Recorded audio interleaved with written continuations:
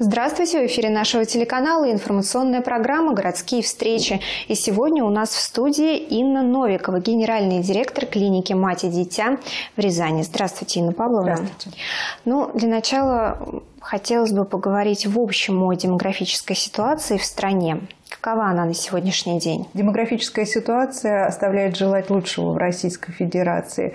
Э, снижается население, особенно работоспособного возраста. А в связи с этим снижается и э, рождение детишек. Нам бы хотелось стабилизировать эту ситуацию, и в Российской Федерации принято множество законов, направленных на стабилизацию данной ситуации. Правительство Российской Федерации приняло законы о увеличении оплаты беременным женщинам, о налоговом льготам, о сертификате, который выдается женщинам во время беременности. Тенденции положительные есть, но все же не такие, как бы хотелось. Ну, а получается, главная причина в чем? Люди не хотят или не могут? А, причин несколько. И не хотят, и не могут. И связано это и со здоровьем, и связано это с материальным положением. А причина также и в неинформированности населения. А, ну, я считаю, первый путь в повышении рождаемости – это информированность населения о вреде абортов. Потому что э, в процессе э, данной манипуляции э, снижается фертильность женщины, а то есть женщина не может иметь беременность в дальнейшем. И каждая четвертая женщина в Российской Федерации, по данным Росстата, не имеет возможности родить самостоятельно, зачать ребенка. А, это делается только с помощью либо врачей, либо вспомогательных репродуктивных технологий. А, также это не всегда причина в женщине. Причина бывает и э, мужской фактор, а, с которым надо разбираться. Но, к сожалению, мужчины у нас обращаются намного реже с этой проблемой, чем женщины. Ну, обычно, когда возникают да, какие-то проблемы в плане зачатия, вынашивания беременности, а, пары вспоминают об ЭКО. Если можно, несколько слов о том, что это и в каких случаях это может применяться. А, ну, что такое ЭКО? ЭКО – это репродуктивная вспомогательная технология. Она применяется в том случае, если а, семья а, или пара не может иметь детей. А для этого женщина, э, и не только женщина, но и мужчина в обязательном порядке должны пройти осмотры врачей и а, пройти некоторые анализы. В процессе этого выясняется, действительно ли семья не может иметь детей, а, либо это поддается лечению. И никогда в цикл ЭКО не берутся те женщины, у которых возможно наступление беременности самостоятельно. А данную ситуацию может решить только врач, либо гинеколог, либо если такого нет, то э, такой врач есть, э, это репродуктолог. А также со стороны э, мужчины эту проблему может решить уролог или андролог. И э, с такими проблемами женщины сталкиваются достаточно часто, но почему-то у нас э, женщины, может быть, боятся обратиться или не знают, куда обратиться с этой проблемой. А ведь э, дети – это, наверное, ну, одна из главных э, целей создания семьи. И каждая женщина хочет познать радость материнства. Насколько я понимаю, что тем парам, у которых возникают подобные вопросы, им можно обращаться в вашу клинику «Мать и дитя». Расскажите, пожалуйста, о самой клинике, когда она была открыта в Рязани и какие услуги вы оказываете населению. Клиника э, в Рязани была открыта в 2015 году.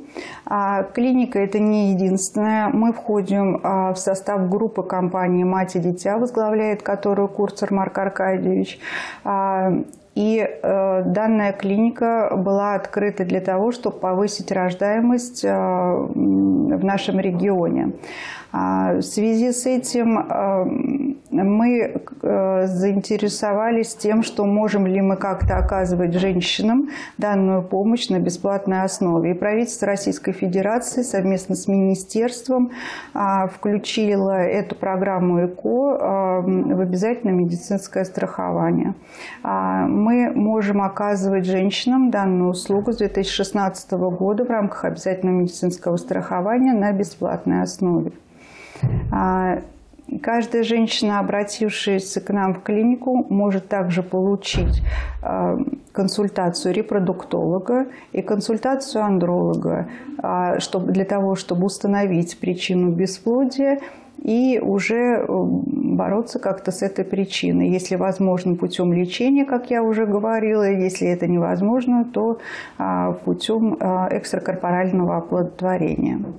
Но для того, чтобы а, сделать ЭКО, вот у вашей клиники в частности, да, бесплатно, нужно получить какое-то направление, и где его можно получить в вашей клинике или государственные медицинские учреждения должны этим заниматься? Ну, для того, чтобы получить направление, здесь несколько есть путей. Можно получить направление и в нашей клинике. Для этого делается э, выписка в которую входит э, достаточно широкий спектр анализов, потому что женщина, так же как и мужчина, э, должны быть обследованы полностью для данной процедуры. Также эту выписку можно получить в перинатальном центре Рязани и в женских консультациях. А, Рязани и Рязанской области.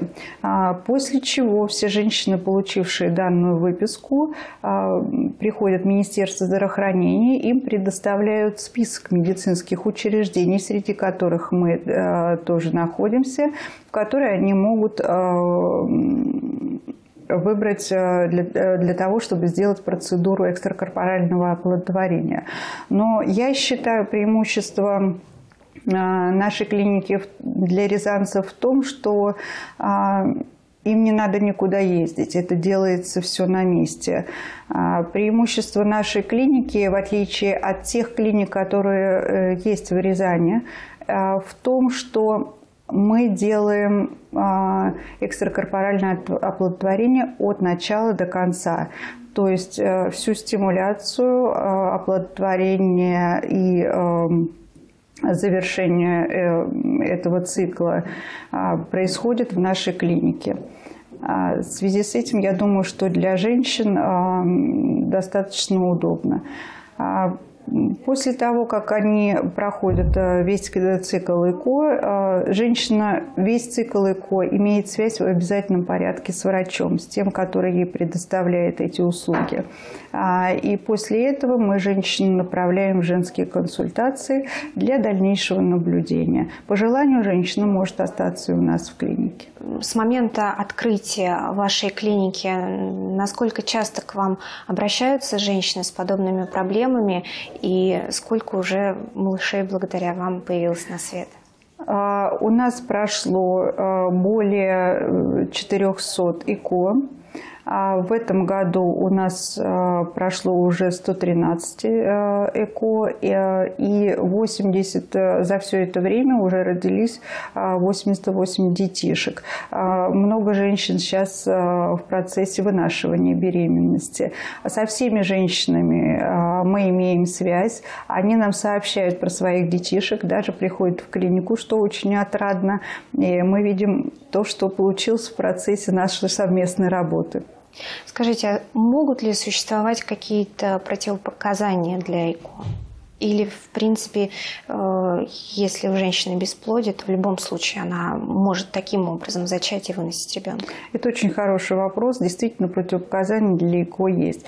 Поэтому э, выписку, которую дают женщинам, она э, имеет достаточно, как я уже сказала, спектр анализов и обследования. А, дело в том, что каждая женщина это индивидуум. И с каждой женщиной врач работает отдельно. И программу для каждой женщины врач подбирает, естественно, отдельно. А, а почему отдельно? Потому что нам нужно видеть э, состояние ее здоровья. И есть э, некоторые заболевания, при которых экстракорпоральное оплодотворение противопоказано. И мы об этом говорим женщинам. У нас, э, так как э, клиника не отдельно стоящее здание, не отдельное учреждение, она стоит в группе компаний, у нас есть большая возможность всегда проконсультироваться э, с врачами других центров. И у нас всегда взаимопонимание, мы находим взаимопонимание и поддержку в тех или иных вопросах, если что-то нам бывает непонятно или если как бы, нам нужны дополнительные дополнительные консультации. Мы никогда не берем женщину в цикл ЭКО, если у нас есть какие-то сомнения а, по ее здоровью и э, способности ее выносить данного ребеночка. Поэтому это все подбирается строго индивидуально. Помимо а, ЭКО, какие еще услуги оказывает ваша клиника? А, вы знаете, клиника у нас достаточно разносторонняя. А, у нас э, предполагалось сначала, что это будет клиника ЭКО, но на самом деле а, э, здесь не только получилась клиника ЭКО, здесь и поликлиника для взрослых, и поликлиника для детей. У нас замечательные врачи, которые проходят постоянное обучение либо через онлайн трансляции, либо на рабочих местах в других э, учреждениях группы компаний. И э, знания у них фундаментальные, я считаю. Поэтому э, все женщины, и еще я говорюсь раз, что мы имеем возможность консультации с любым регионом, с любыми врачами, и любой уровень сложности э, или проблем, которые у нас возникают э, в ходе лечения пациентов, мы можем проконсультироваться непосредственно в других клиниках. Это нам помогает работать с достаточно сложными пациентами. Ну, получается, вы занимаетесь исключительно женским здоровьем? Конечно же, нет. А в э, поликлинике во взрослые у нас проходит обследование не только женщины, но и мужчины. И, э, наверное, надо стремиться к тому, чтобы расширять э, круг познания в мужской сфере, потому что женщина, наверное, больше следит за собой со стороны здоровья, к сожалению, к счастью, наверное, чем мужчина. И очень часто мы видим, что а, инициатором прихода в клинику является а, не мужчина, а женщина. Мы хотим немножечко это повернуть в другую сторону, чтобы мужчина тоже заботился о своем здоровье. И для этого у нас есть все врачи, все обследования, которые, э, где мы можем помочь. Инна Павловна, большое спасибо, что сегодня нашли время прийти к нам в студию. Спасибо а, вам, спасибо врачам, которые работают в вашей клинике и помогают семьям стать полноценными и счастливыми. Спасибо вам большое за приглашение. Я надеюсь, что мы немножко развеяли миф о, о том, что врачи э, очень хотят направить на ИКО, не пробуя э, предложить женщине другие лечения. Но это не так. Мы пробуем разнообразно обследовать женщину, посмотреть и только э, направить на ЭКО тогда, когда женщина не может самостоятельно забеременеть. Ну, в любом случае, лучше, чтобы не было никаких проблем со здоровьем. Ну, а уж если так случилось, то теперь, я думаю, рязанцы будут знать, куда обращаться. Спасибо большое. Ну, а на этом наша программа подходит к концу. Мы желаем вам всего самого доброго. До встречи в следующих выпусках.